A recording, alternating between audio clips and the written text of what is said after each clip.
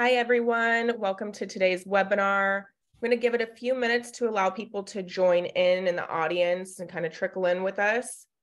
For anybody that is currently trickling in, why don't you drop a message in the chat box below and let us know where you guys are attending from. I am attending from Los Angeles. It is not a great sunny day here, like one would assume, but it's a nice day out nonetheless. Todd, where are you joining in from today? I'm in Scotts Valley, California. Very nice. About five hours north of you. Nice. Chris, what about you? I'm assuming close to that? Yeah. Reno, Nevada. Oh, nice. Okay. Very nice. I'm from Sacramento originally, so kind of close. Actually, me too. Uh, grew up in Sacramento, Carmichael, Fair Oh, cool. So yeah, very nice. Very nice. Yeah, I was from Folsom. Very fun area. Yeah. Great. All right, so it seems like we've got a good amount of people that are coming in so we can get this started. Welcome today's to today's webinar. I'm Ashley. I'm from Digital Niche Agency. I'm here with the Carnot Compression team. We're excited to be putting together this live Q&A webinar for, for you today. Before we get started, though, I did want to remind everybody that there are questions in this webinar that we are unable to answer due to compliance reasons. Those questions are things pertaining to the company's financials, projections, or use of funds. For any of those questions, please feel free to reach out to the Carnot Compression team directly to get those answers for your questions. I'll drop the company raise page below for everyone to be able to access as well. Give me just a moment while I do that. So I'll drop that in the chat box. You guys can all visit their raise page directly and get more information on them as well. So that's in there for you.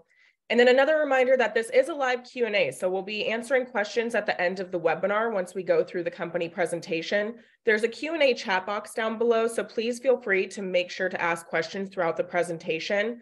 Um, and then once the presentation is concluded, we will go ahead and answer those. So without further ado, I will pass it off to Todd from the Carnot Compression team. Thank you, Ashley. Is the screen share working? It is. Okay. All right, well, uh, hello everyone. Thank you for taking uh, time out of your day to um, learn more about Carnot and um, what we're up to. Uh, so this is actually our first investor webinar. So um, our primary goals today are just to provide a company introduction. Um, we'll go around and um, introduce you to the team and um, we'll talk a little bit about our technology and um, where we're headed. So um, we are developing a more commercially uh, or commercializing a more environmentally friendly air and gas compressor technology. And our mission is to lower the carbon footprint of industry by lowering energy consumption from air and gas compressors and doing so in an oil-free uh, process. So, oh, sorry. So again, the agenda here, uh, meet the team, uh, then we'll go through a company presentation, and then we'll open it up for Q&A. But as Ashley said, uh, you can submit your questions as we go, and uh, we'll take them all at the end. So, so first of all, um, my name is Todd Thompson. I'm the CEO and one of the co-founders of Carnot Compression. I've got um, you know, 25 plus years of experience, uh, coming up on 30. um, um, background in finance, uh, corporate development, business development. Uh, I've done a lot of work with clean technology. I've been with other startups. Uh, began my career in management consulting in New York City. Worked with uh, Stern Stewart and Company, KPMG, PwC, and I spent 10 years at a large engineering and construction company in California. Uh, I'm a UVA grad. And uh, when I'm not working, um, I like to get outdoors and I'm usually either hiking or at um, one of my son's baseball tournaments. So Hans. Hans, you're on mute.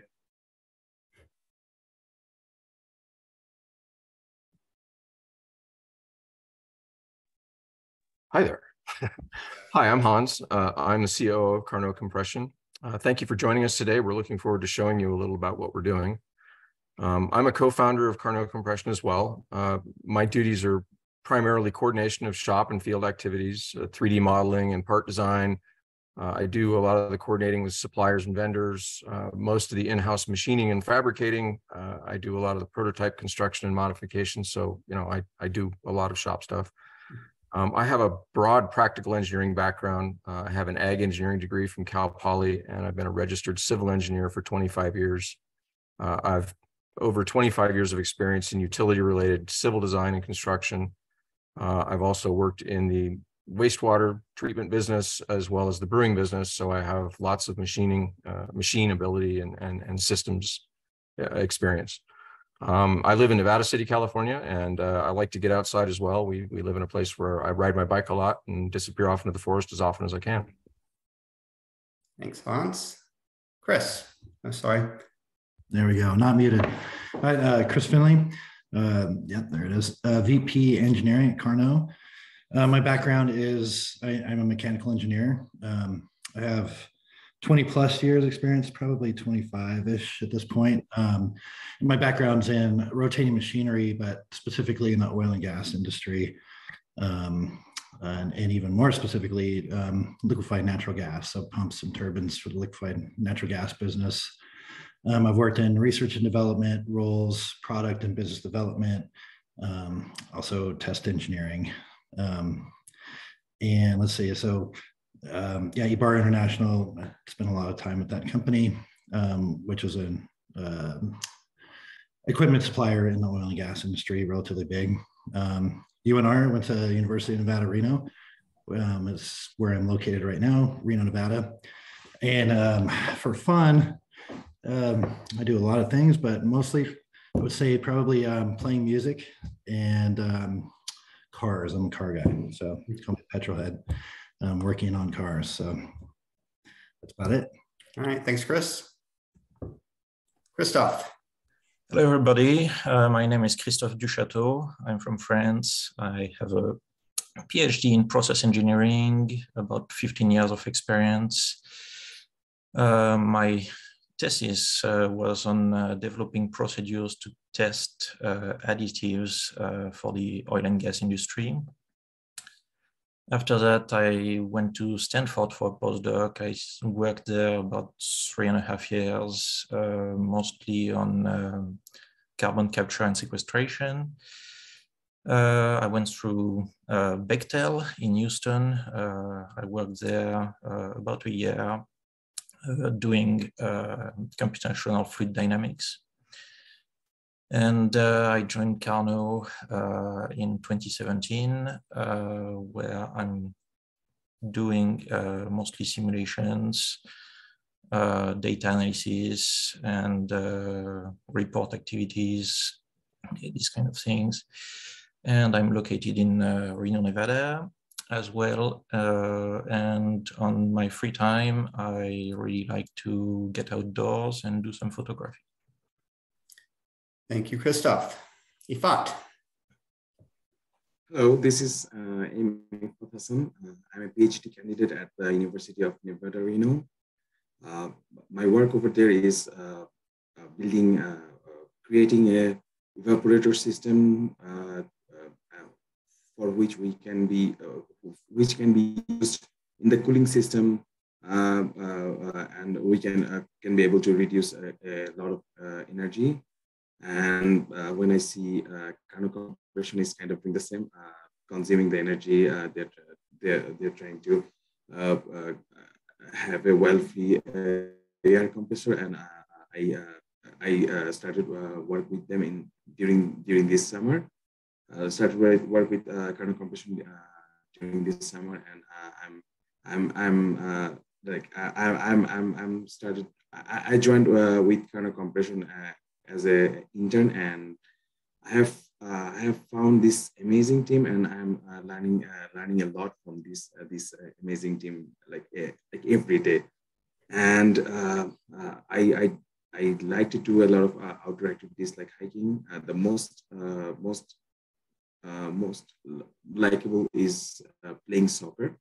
And I, I, I know everyone knows about the soccer World Cup going on and I'm watching it like it's it's crazy. It's it's uh, and finally it would be on Sunday. So yeah, that's from me. Uh, and yeah. Okay, thank you, Afat. We're happy to have you on board. Um, so uh, that's the core team that's um, working on uh, the project or you know day in day out. Uh, we are also supported by uh, some active board members and some advisors. So a little bit more about the company and our background. Um, we formed the company in uh, 2014. Uh, and at that point, um, you know, this you know, isothermal compressor was really just a concept. It, it was an idea that um, we knew could work, um, but it was it was very raw. So uh, we put in some personal money. Um, then we um, had some friends and family invest. And then from there, we've been mostly funded uh, through uh, grant funding. Uh, we've had uh, over $5.6 million of uh, non-dilutive grant funding, and non-dilutive means we didn't have to give up equity uh, for the dollars.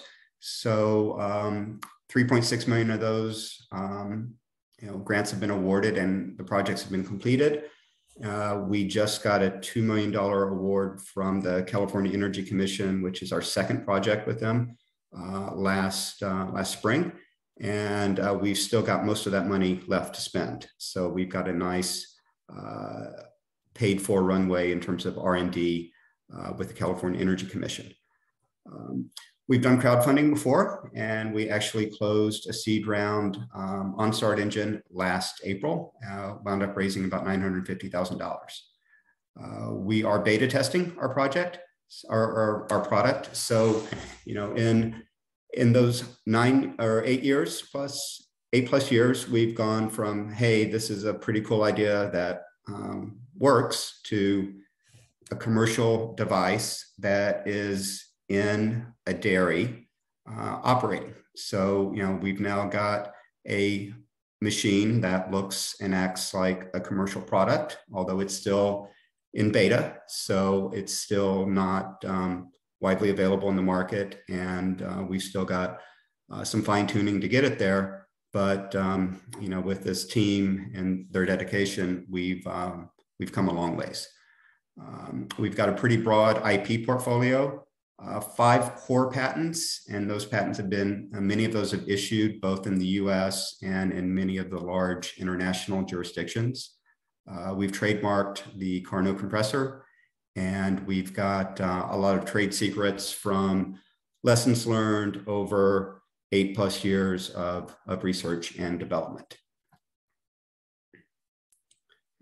So why air compressors? And you know why why is this important? And you know why should you invest in a company that is bringing a new air compressor to market? Well uh, air compressors are everywhere um, they are commonly called the fourth utility so after power water and gas you've got air you know compressed air runs factories uh, it runs machine shops it runs auto shops it runs milking machines at dairies um, the list goes on and on uh, basically, I like to say anywhere something is made, there's an air compressor in the background. Uh, it's about a $40 billion market based on the third party research uh, that we've been able to obtain. Uh, most of the market, uh, the compressors are oil flooded. So that means that during the compress compression process, there's oil that mixes with the air as it's compressed and that's for a variety of reasons, most of it due to friction and heat. Um, the problem there is that um, that oil can carry over into the compressed air stream into the airline. And if that air is coming into contact with a product that might be consumed, so maybe food and beverage or uh, pharmaceutical, um, then that's a problem. So um, there's a lot of customers that cannot have any oil contamination in their products, and they have to purchase oil free compressors, which is about one third of the market. Uh, those compressors are much higher cost, less efficient, and they've got a shorter operating life compared to same sized oil flooded compressors. Um, so that's where we see a big opportunity, and we'll get into a little bit later. But our mission is to really have a lower cost, more reliable, and longer operating life oil-free compressor as compared to oil-flooded compressors. Um, when we look at the lifetime cost of ownership, um, for heavy duty industrial users of compressors, uh, electricity is actually about three quarters of the lifetime operating cost. Um, so when we talk about um, our technology, uh, due to the fact that it's isothermal, which uh, Chris will get into in a bit, uh, that gives us an opportunity to reduce energy consumption. Um, and we believe that for many applications, we can reduce the energy use by 20%, possibly more. Uh, so we've got a big opportunity here to have a product that uh, saves our customers money and then also does good for the environment by reducing energy consumption. So Chris, you want to talk a little bit about the technology? Sure. And I'm going to keep this relatively high level. Um, hopefully, if we want to get down to the weeds, um, that can happen during the questions. But um, first of all, I just want to talk about where the idea came from, the technology came from. Um, and it's, if you look at this picture on the screen right here, this is actually a patent, an image from patent application from, I guess, yeah, early 1908, I believe, anyway. So, um, you know, early 20th century, late 19th century. Um, and this is a, a, compressor that was used for, you know, I'm not sure how many years, but Hans, you remember it?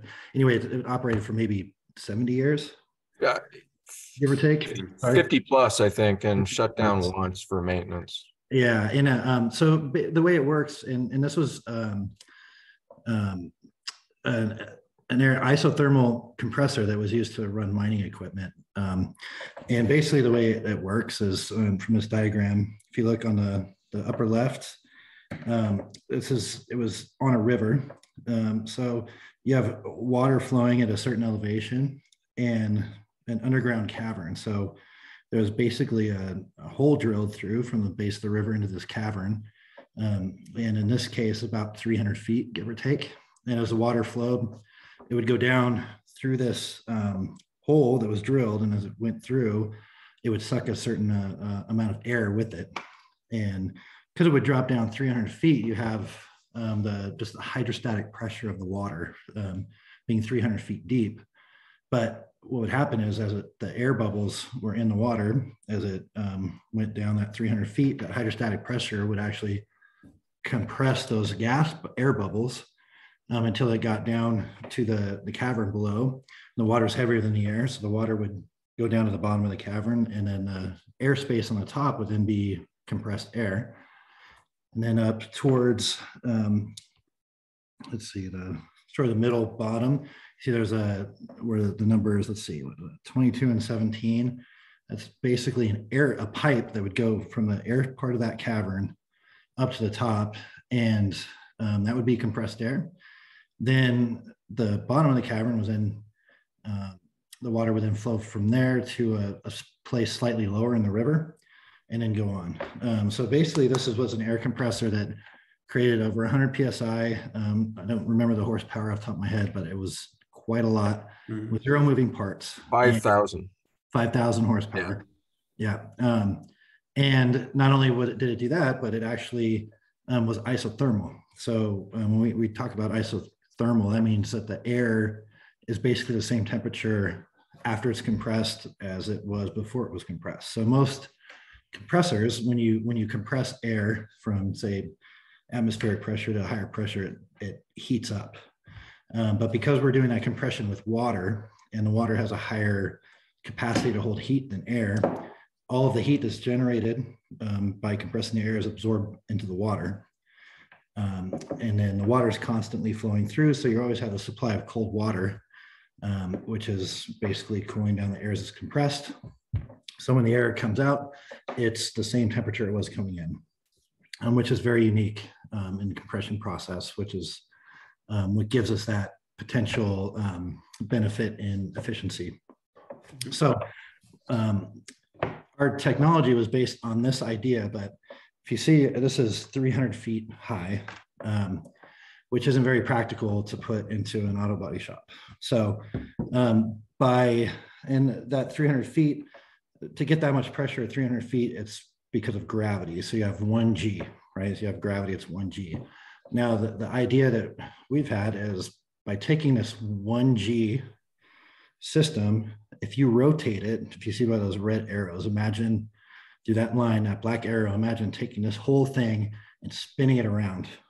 Um, well, by spinning it, you can increase the G's. Um, for example, like if you're on the, was it the Gravitron that um, at the fairs when you, you sit in it and it spins around, it feels like you're laying on your back and um, you feel those G's pushing on you. Well, that's the same idea that we're using um, with our compressor. So we could take that 300 feet now and make it smaller and smaller by spinning this. So if we go to the next slide.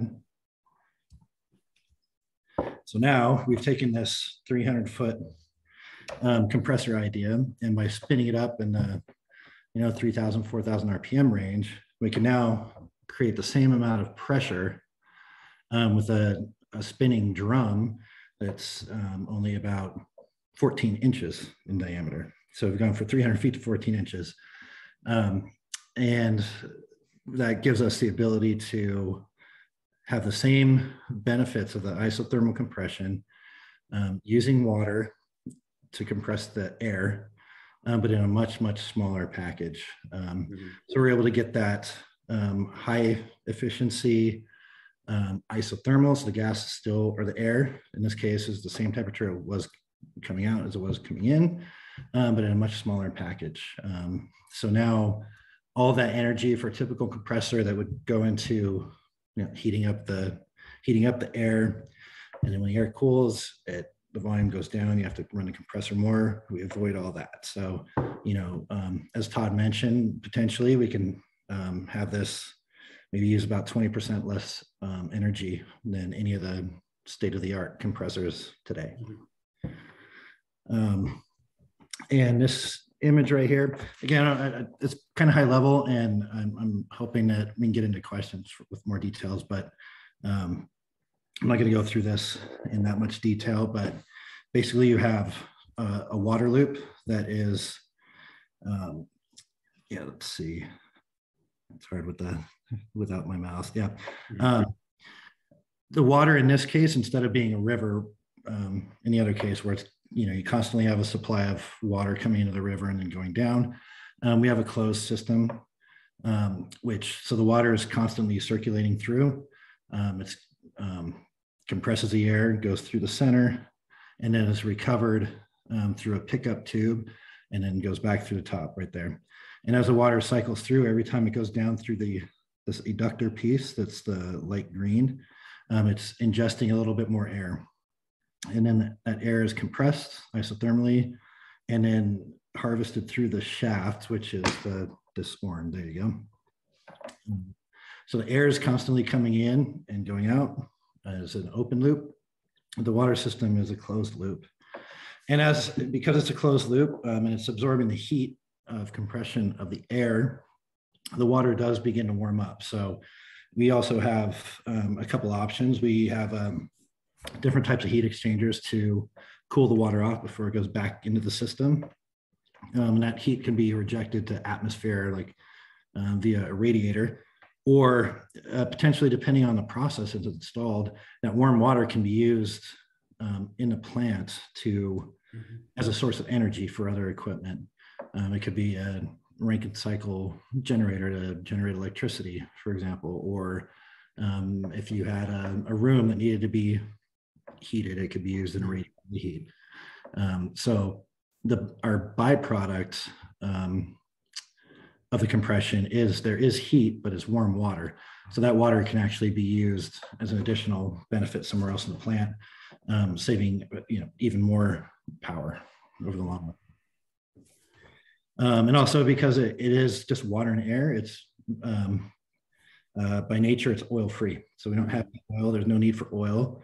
Um, and it's a very simple machine compared to some of the other compressor technologies. So, um, you know, we have basically one large moving part. You know, we don't have complicated, you know, pistons and crankshafts and, um, you know, multiple, multiple seals all over the place. It's a very simple machine um, in terms of the number of parts. Now, the design, of course, the, the hydraulics and the the, design of the water and the air is very complicated on the back end, but the machine itself, once it's designed, is simple, reliable, one moving part, um, two very simple bearings, and one one seal, and that's it. Thank you, Chris. You're welcome. Okay, so what is our opportunity? Uh, well, I mentioned before the, the global air compressor market is about 40 billion uh, of annual revenue, uh, and roughly 27 billion is oil flooded. So oil flooded rotary screw compressors, oil flooded piston compressors as, an, as examples. Uh, and 13 billion is oil free. Um, what's interesting is roughly 75% of the unit sales are 50 horsepower and under units. So, um, in terms of unit count, um, where we've tested our technology is really right in the sweet spot in terms of um, how many units are sold uh, each year. Um, let's look at potential impact. Uh, in the US, um, we estimate uh, that approximately $12 billion of uh, energy costs is spent each year to drive air compressors. And you know that's based on research that we've gotten from the Department of Energy. Um, so if we could replace every compressor in the US with ours, and if we reach our uh, energy savings potential, you know, that could be over $2 billion worth of annual customer savings per year just in energy alone. Uh, and then if you look at the global opportunity, you multiply that uh, times approximately six. So that leads us to our value proposition, uh, which is to lower that lifetime cost of ownership for our customers. And we're looking to do it in several ways, uh, focusing on energy and maintenance cost. Uh, as Chris said, uh, with one moving part, um, with less seals, with just a couple of bearings, um, there are fewer failure points and maintenance points in our machine compared to other compressor technologies. Um, and also, uh, because of the fact that we're isothermal, we're not generating a lot of heat, uh, we don't have the frictional issues, we feel like we're going to have a much longer operating life machine as well. So we see multiple areas to drive savings through uh, less energy costs, lower maintenance costs, and a longer operating life. Um, and really, that leads us to the mission: is you know we feel we can offer an oil-free alternative for a lower lifetime cost compared to current oil-flooded compressors, uh, and that's pretty significant because when you look at the market price of let's say a 15 horsepower oil free compressor compared to a 15 horsepower oil flooded compressor uh, that oil free compressor sells for about three times the cost of the oil flooded compressor. So we believe there's this big untapped market for oil flooded alternatives that exist um, that's not being met just because of the high upfront cost and the lower um, lower lifetime um, you know operating potential. We see, and you know Hans can talk a little bit about this in the dairy industry, but um, we see customers that have oil-free compressors that have very short operating lives for the equipment when they're operated in heavy-duty 24/7 applications. Uh, longer term, when we talk about scaling, uh, we've done some engineering work to suggest that the technology could scale up into a multiple hundred horsepower range. Uh, but you know, we've got to walk before we run. Uh, initially, we're tar- targeting that five to 25 horsepower market uh, where we've got a beta test product right now that's within that range. So Hans, you want to talk a little bit about what we're doing in the dairy industry? Sure. Um, we we have a beta unit in uh, a dairy up in Tillamook. Um, it's uh, been a bit of a rocky start with it, but it's a great great spot to put it in. Uh, the the compressors being augment to scroll compressors that are running two or three robots uh, in this dairy. So this this entire dairy is um, basically only, have two guys that that watch. Uh, I think uh, close to 170 milking cows, um, and they just pass through all day long, all night long, and these compressors just pound away and and feed these systems. So right now, uh, that's all being done with scroll compressors, and there is very little love in the industry for scroll compressors because they break a lot uh, and they're expensive to replace.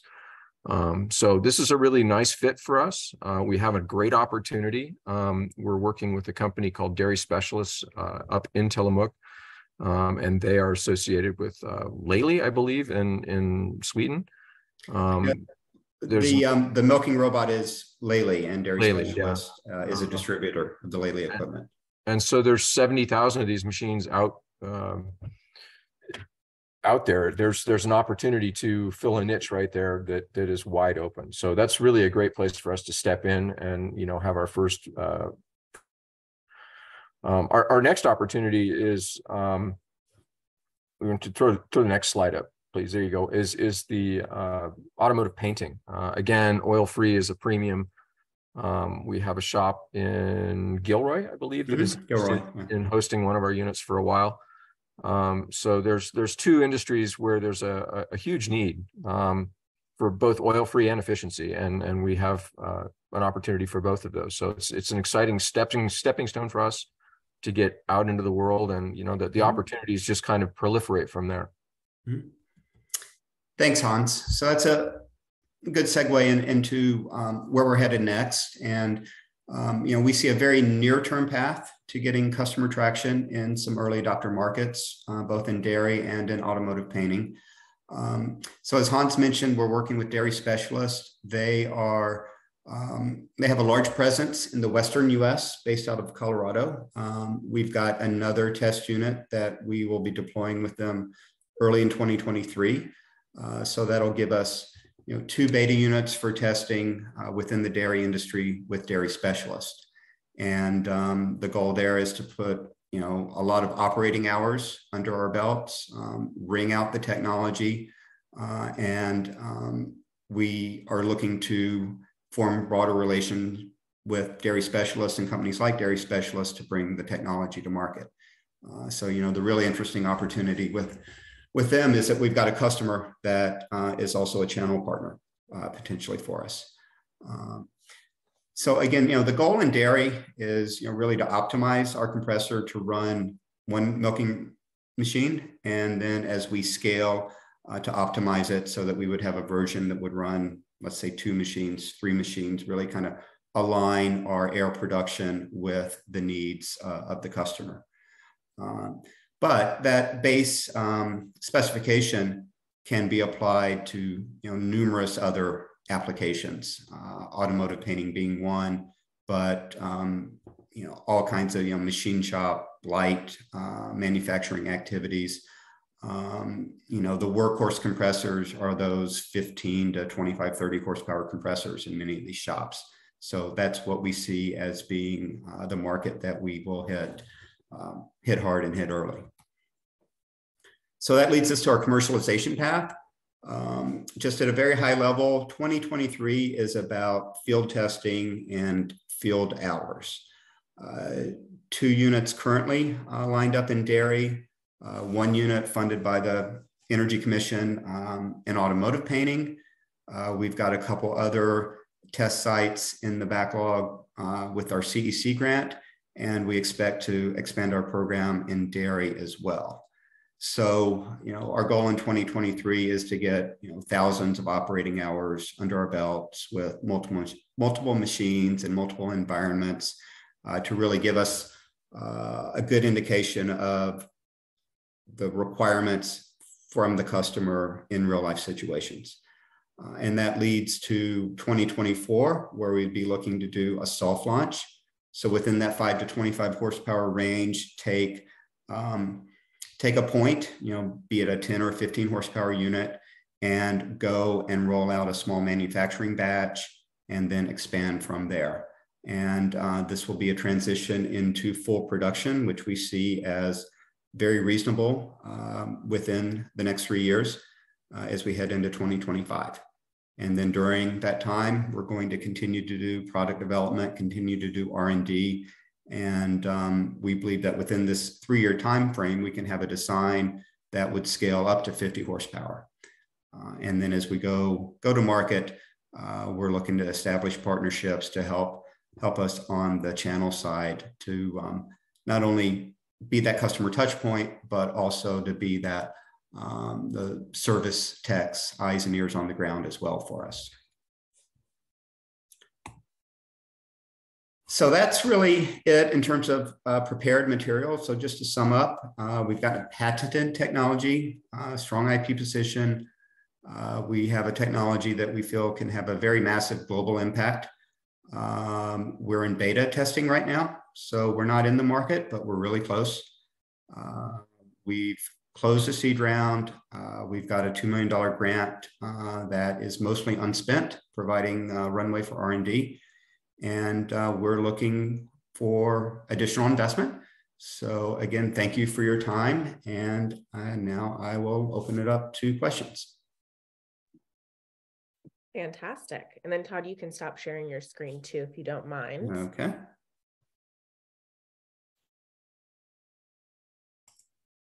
Great. So thank you guys for that fantastic presentation. Tons and tons of information.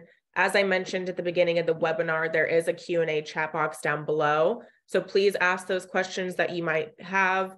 Uh, we do have a couple that came in during the presentation. So the first one is, what are the advantages of having so few moving parts? Okay, Hans, you or Chris, why don't you take that one? Uh, well, the the first and foremost is there's fewer things to go wrong. Um, one of the great demons in in machine design is is complexity. Uh, the the simpler we can make things, the the less there is to go wrong. So um, by trying to keep it simple, we're trying to both save energy and and reduce maintenance and increase life. Great. Thanks, Hans. How much of the product is off the shelf parts, motor, etc., and how much is custom machined? Um, boy, if I'd had to put a percentage on it, um, I don't know, fifty percent. Uh, there's there's boy, I hate to hesitate here. Um, there are a few parts that are that are uh, large that we have custom made. The most of it um, is aluminum and uh, is fairly readily available, especially in bulk. Uh, we don't anticipate that there's any anything exotic or weird that we're going to have to uh, have made. Um, a lot of the balance of plant stuff, valving, plumbing, wiring, controls cabinet, all of that is off the shelf. Um, so largely what you saw in that cross section that Chris showed earlier, those are the things that we we will wind up making. And please explain the HP rating.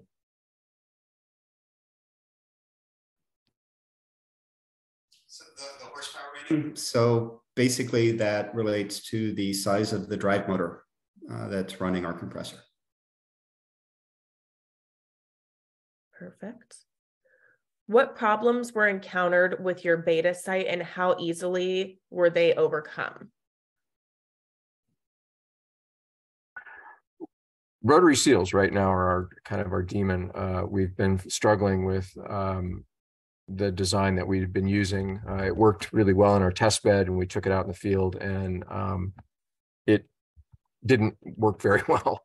Um, so we've been uh, back and forth several times trying to get that repaired. Everything else seems to be running really well. Um, we do have a revised design on that, um, and it, we're it just about to enter into testing on that. Um, we think it'll fix the problem.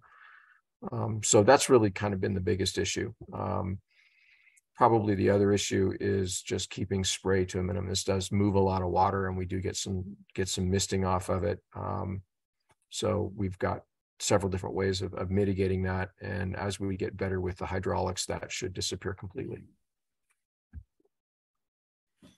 Yeah, and I would just maybe add to that, um, you know, just kind of all the, the usual issues that come up with uh, a first of a kind um, beta test unit.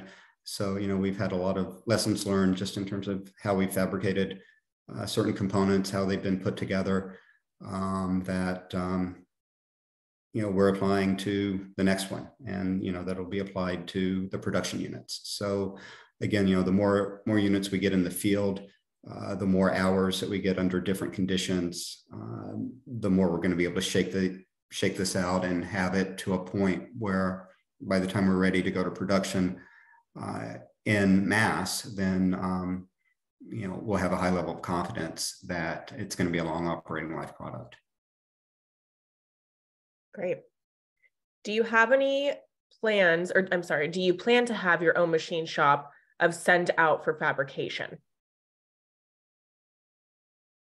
Oh, do you want that? Yeah, I'll take that one. So um, right now we've been operating in what I would call a very capital light mode. So, you know, we've been working with local machine shops and suppliers um, and really been focusing on doing the assembly work ourselves. Um, so how we go to market as we get through next year, um, it'll probably be most of the same as we're doing, you know, half a dozen units for beta testing, let's say. Um, once we get into um, production mode, uh, there's likely some of those items that we'll bring in-house and um, some where we will form relationships with third-party suppliers uh, to do that work. Um, but we're trying to stay as flexible as we can. And right now we're trying to keep, um, you know, do this um, in the most uh, capital friendly way as we can. And what makes Carnot stand out amongst your competitors? Well, I, you know, it's pretty simple. It's the technology. You know, we've got um, a totally different mousetrap than our competitors. Um, so, and we've got it protected with strong IP. So um, nobody else in the market has a compressor that has one moving part for the compression process that compresses isothermally. Um, so um, we can deliver a lot of advantages to our customer, which we outline, our customers, which we outlined in this presentation. And um, we believe we can do it in a very efficient manner um, as we get into the marketplace. So it's really, you know, we've got a completely different technology than anyone else. And um, we're selling that technology into a marketplace where you know the customers they just want a reliable source of compressed air. They don't care if it's you know what kind of compressor it is. Uh, they just want it to work. And you know they don't want it to be a problem. They don't want it to go down um, and you know they don't want to have to pay for a new one every three or four years so um, we believe we can check a lot of those boxes and come into the marketplace with something that's going to be radically different than um, anything they've seen before. Great. Is your system compatible with compressing carbon dioxide to 1200 psi? Possibly, but not anytime soon. Is this considered a single stage? Yes. Um, Hans, how much have we, what kind of pressure have we generated in one stage? Uh, I think the best we've done is 200. Um, we haven't tried to build this into a multi-stage process at this point. We've talked about it, um, but truthfully, the the challenge of just getting to through this this first stage has been an, enough of a, a, bite that it's kept us busy. But we we do talk about it. Um, mm-hmm there are opportunities there. There are also opportunities for other fluids, other liquids and gases, uh, as previous question asked, but they invite lots of different complexities. And and and like I say, the just the air and water uh, combination has been enough of a bite. Well, and the air compressor market is enough of an opportunity as well that you know there's no reason to uh, get too far afield. Um, you know, we've got a big first market opportunity right now. So, you know, that's what we're chasing. And then this is kind of a two part question, I believe. So, what is the output and pressure and volume per horsepower? So, I'll start with that one question. Chris, you want to take that one? Um, so, one more time. It, yeah, no problem. The, what is the? What is the output and pressure and volume per horsepower? And pressure and volume. Um, I, it's hard to. there, there's like three variables right there. So um, I, I, I guess for I, I could take a, an individual um, point just to give you an idea.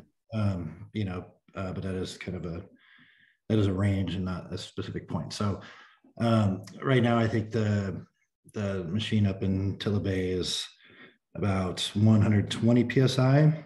Mm-hmm. Um, the airflow it depends, you know, um, between maybe two and seen up to five uh, CFM on a 10 horsepower um, motor.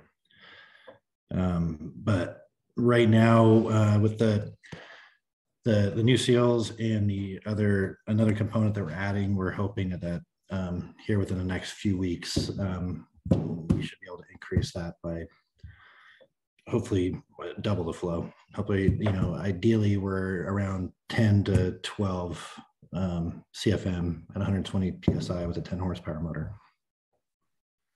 And what is the output temperature of the cooling cycle? Um, I think right now we're running this particular application, we're running it's about 120 to 125 degrees F. Um, but that is, that's um, set by by us. That's it's set by the the cooling capacity. Um, if the system was to run longer, or if it was um, controlled a different way, you could that temperature could be higher or lower, um, depending on the either the requirements of if there was a use for that water, the warm water, we can actually have it a little bit warmer. Um, if there is a need for the air to be cooler, then we could um, actually have that water less. But long story short, the current application up at the Tilla Bay unit is about 120 to 120 degrees F. And a typical compressor's put now at 120 psi is like 350 F, mm-hmm. somewhere in that range, mm-hmm. just to kind of give you some scale. Right. And you know what I would add to that, and again, you know, we're we're in beta testing, uh, so you know our specifications are, you know, our output's not where it needs to be, um, you know, for the commercial marketplace um, quite yet. And, you know, I just want to be very clear about that. Uh, but at the same time, um, we are very close to having uh, a set of specifications that will meet the customer's requirements for dairy. Uh, so once we get into that double digit CFM range, uh, we're already generating the pressure that we need. Um, and we just need to get the output flow up uh, a little bit, and we will have a machine that can run a milking robot uh, 24 7. Um, so, you know, that, um, that next step is, is within our sights here. Um, and then, um, you know, we're just scratching the surface on where we can go in terms of efficiency with, with the technology. So, um, you know, we've got another um, webinar in the books in January, which we'll talk a little bit more about, you know, kind of our plans for doing that. Um, you know, we've been working with um, Munro and Associates on um, lean design, so um, we've got a lot of, uh, and we've been through um, a couple workshops with them, and I got a lot of great ideas in terms of making the design even simpler, lowering the BOM, lowering the cost. And um, we're also engaged with uh, Oak Ridge National Laboratory uh, in a DOE funded project. So I didn't even talk about in the presentation that, you know, um, you know, DOE has provided grant funding as well in the forms in the form of a project uh, where Oak Ridge National Laboratory is doing research on our behalf. Um, and the sole purpose of that project is um, to optimize the design of uh, the shapes of kind of that fluid flow path that Chris walked through. Um, and so there's still a, a lot of opportunity to uh, see some significant step up in, in airflow, we believe, um, over the next um, several months here. And we've got um, pretty defined path in terms of how we're going to go about uh, about doing that. Most compressor systems are quite old. You know, they've been around for a century, most of them, um, and and you know they've had literally millions of, of man hours worth of time and energy trying to refine the the improvements and the efficiencies on them this is a brand new thing. This is a mm-hmm. this is a, a, a, flagpole out in the middle of a great wide open field, and so we're still in a in a the stage where we're going to see large leaps in efficiency. We're not going to it's not going to be one and two percent. We're going to be doing five and ten and fifteen percent for a while here, and then it'll as it gets refined over time, those those those gains will will narrow some, but um, you know, literally everything about this machine is new, and literally everything about this machine can be improved over time mm-hmm. with with enough energy into it. Yeah, we're still in the first or second inning here. And the third part of that question uh, does ask about financials and cost structures. So for those questions, we're unable to answer those on the webinar just due to compliance reasons. So I'm going to go ahead. I linked it at the beginning, but if you hopped in late, I'm going to link it in the chat box again for everybody for the Carnot raise page. Please feel free to visit that raise page, learn more about their team, and that's where you guys can ask those financial questions, any projections for the future, all of that stuff. For the next question, does the compressed air have high humidity? And is that an issue if it does? No, actually, uh, well, it's it, it, that's a two-part question. It, has got 100% humidity, but it's leaving at a lower temperature, so there's less water in it um, in in a comparative sense. So if you were to fill a tank to 120 psi with air at 350 F that was saturated, you'd wind with a puddle of water at the bottom that's fairly substantial. If you do that with air that's 120 degrees, there's a lot less water in the bottom of the tank because the, there's a lot less water holding capacity in the air because it's less less warm. Um, so the the answer to your question is it, it, it will have less condensate appearing downstream, uh, and so it creates less issues on tooling and machines downstream. And a lower load on any drying requirements as well.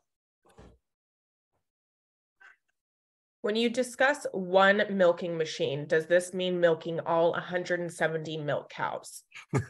That's a dairy question. Uh, my understanding is no, they have three machines that are running and they run 24 7, and those machines handle that 170 cows. Um, it's really uh, it's been a lot of fun to watch. I've never been around one before, but um, it's just like a bunch of people getting in line for a latte. They just kind of line up behind the, the robot and go through at a time and get a snack when they do it. it it's uh, kind of an amusing thing to watch. And then another one about the competition, just asking, is there much competition? Okay, so I'll take take that. Um, yeah, the, the air compressor market is uh, it's a very mature market. Um, it's you know without getting too much into um, kind of consultant speak, but it's what we would call a fragmented market. So there's a lot of players. Uh, there's some players that have some pretty significant market share. Um, but there's a lot of players in the industry, and you know we we see that as an opportunity because you know it's by and large the same machine. Um, you know it's a different color, and you know it's a different manufacturer's name on it, um, and you know it's essentially you know compressor is a fourth utility. It's a commodity. So if we can bring a lower cost commodity to the marketplace then we're going to have a significant advantage over all of the competition. Um, and so, you know, that mature ecosystem uh, could be a great opportunity for us. Um, you know, as we go to market, uh, there could be ways to um, work with some of those major players to really expand our reach into the marketplace as well. Great. We do have a couple more questions and we do have a couple more minutes left. So just one last reminder that if you guys have any questions for anybody in the audience, now is the time to ask those before we wrap up the webinar. We have another one that is, what are your plans for an exit, IPO, M&A, etc.? Okay, I'm not sure how much detail we can get into that for uh, compliance reasons. Um, you know, right now, our focus is on um, bringing the product to market and bringing a very compelling product to market. Um, and you know, if we focus on that, I, I think the um, the exit opportunities should uh, take care of themselves. Um, you know, as you've seen, it's a pretty experienced management team. So uh, at some point, uh, you know, we're going to want an exit for ourselves. So I'll just leave it at that. Perfect. Say more about the reduction in shutdowns due to compressor breakdown. What are the dairy folks saying? Hans, do you want to take that or? Um, sure. Take it. Well, we can both take it. I, I, there's just a lot of complaints about the scrolls. I, the, the tips burn up on them. Um, they just they're expensive. They last a couple of years. I think they're I don't know like five thousand dollars for a scroll and fifteen thousand dollars for the whole compressor, and they get swapped out a lot. Mm-hmm. Um, they don't. They can run, I, I, believe, like 20 hours a day, and that's about the best they can do. Um, one of the advantages of what we're working on here is we can just run. Uh, it doesn't, we don't have to shut down. We don't get too hot. We just run. So that's that's a very appealing thing to uh, an operation that's got a 24 seven need Mhm. you know, for, for compressed air. Um, you're not cycling as much, you're not starting and stopping, which is where a lot of the breakdown stuff occurs. Um, so that's an advantage that we have. Uh, I, in general, um, I, the, the lifespan of the compressors that are in the dairy industry are, are not something that they're happy with. And, Mhm. and they just keep literally begging us, guys, get, get there, please, because they want this. Um, they, they, they want to see something different than what they have. Yeah, I mean, if you're if you're a dairy farmer and you know you've made this big investment in milking robots to automate your your dairy, um, you know it reduces labor costs. It makes a farmer's life, um, you know, much much easier. Uh, not that it's an easy life, um, even with the robots, but it you know it, it does um, lower the burden on, on the farmer. Um, but you know if you're spending fifteen thousand dollars on a new compressor every eighteen months, uh, and then you're you're you're down, and you've got to have redundancy. It just creates a lot of problems. So you know, um, nobody, um, you know, a compressor is a tool that you know people don't want to think about. They just want it to run and to work, right? So you know, we believe that's something that um, you know we can bring to the market, and and you know it'll run and it'll work um, out of sight, out of mind. Great. and then what was your 950K seed round like? Did you do it as crowdfunding and hundreds of investors, or was it a private placement with a small number of investors? So that seed funding round was on StartEngine. So we had roughly 1,100 investors in that round. Um, prior to that, um, there had been some private placements with, you know, the founders, family, and friends. Uh, but the bulk of the money has been through, um, and actually that's not an insignificant number. Um, you know, that number's up into the, you know, I want to say six hundred thousand dollars or so is was collectively invested by uh, by the team, uh, family, and friends before we went out and, and raised some money on StartEngine. So, uh, in addition to um, you know our time, which has been quite significant here, um, you know a lot of us have written um, some sizable checks as well. So. And then we've got time for probably about one more question. And it is Do you have any beta units currently in the auto paint industry? And if not, when? Which I believe we kind of went over in the slideshow. But yes, so actually, if you go to our raise page, um, or, or, the videos on our website as well, and, and, you look at and you go through the video, you'll see a segment from Nick Springer, who is uh, owns uh, a set of auto uh, body shops in, in the Bay Area. And um, our first test in the industry is actually at Nick's shop in Gilroy, California.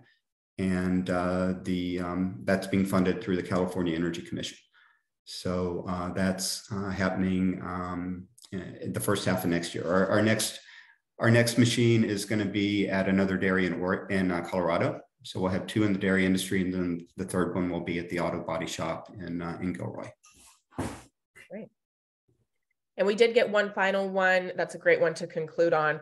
Can I please watch a recording of this conversation and presentation? Jumped in a little late. Absolutely. So for anybody that might have jumped in a little bit late, maybe you had to hop a little early, not a problem. We are turning this into a webinar recap. This will be going out next week for you guys to be able to rewatch.